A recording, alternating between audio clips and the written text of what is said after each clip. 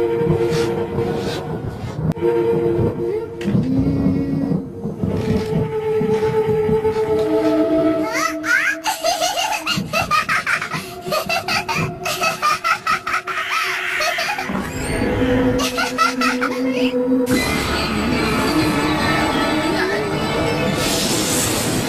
देखो तुम कॉमिक पढ़ते रहते हो। होमवर्क नहीं करते ना? मैं इन्हें पकड़ लेता हूँ आप इसे मत फेंकिए चुप हो जाओ